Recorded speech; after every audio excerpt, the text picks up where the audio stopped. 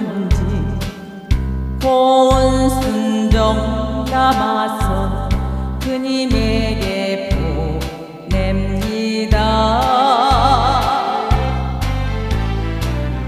꽃이 피는 강마을에 뻐국새가 다